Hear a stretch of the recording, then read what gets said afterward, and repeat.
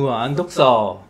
안녕하세요. 마이크입니다. 네, 오늘 소개시켜 드릴 책은 아르테미스라는 책인데요. 어, 앤디 위어의 작품이고 어, 여러분이 잘 알고 있으신 마션의 작가가 새로 쓴 새로운 책이에요. 서점에 가면 아마 보실 수 있으실 건데요.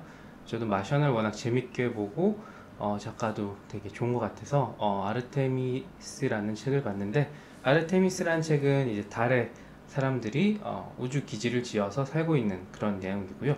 재즈라는 여자 주인공이 와서 여러 가지 활성도 일으키고 뭐 가정 문제, 뭐 연애 문제, 친구 문제 그리고 어, 살인 사건에까지 얽히고 설키고 여러 가지 사건도 일어나고 해결도 하고 그런 재밌는 내용인데요. 어, 사실 어, 마션이 좀 더 재밌었습니다. 그렇지만 뭐 워낙 설정도 좋고 그 달에 기지를 세워서 사람들이 살아간다는 이야기를 뭐 정치적으로 경제적으로 그리고 시스템을 워낙 잘 만들어놔서 어 제가 보기엔 이거는 뭐 2부 3부 계속 시리즈물로 만들어도 좋은 내용일 것 같아요.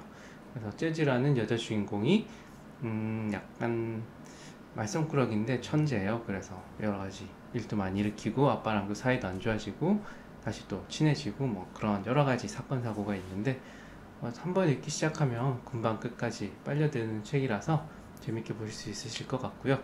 어, 이것도 영화로 나올까 생각은 해봤는데 마션처럼 영화가 나오긴 쉽진 않을 것 같아요. 아무래도 달에 기지를 건설해야 되고 훨씬 더 스케일이 커져가지고 등장인물도 많고 해서 어, 마션처럼 영화하기는 쉽진 않지만 뭐 시리즈물로 2부, 3부 나와도 재밌을 만한 그런 책이었습니다.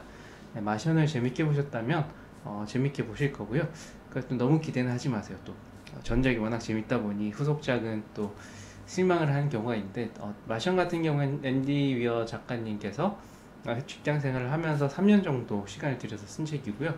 어, 마션이 워낙 성공을 하는 바람에 전직 작가로 나서서 어, 1년 정도 걸려서 쓴 책이라고 하더라고요. 뭐, 워낙 그 달에 있는 기지에 대한 어, 컨셉 그리고 설정에 대한 뭐 투자를 많이 해서 되게 탄탄한 탄탄한 구성인데 어, 저는 주인공의 매력이 살짝 떨어진 것 같았어요. 그래도 재밌는 책이니까 어, 한번 보시고요.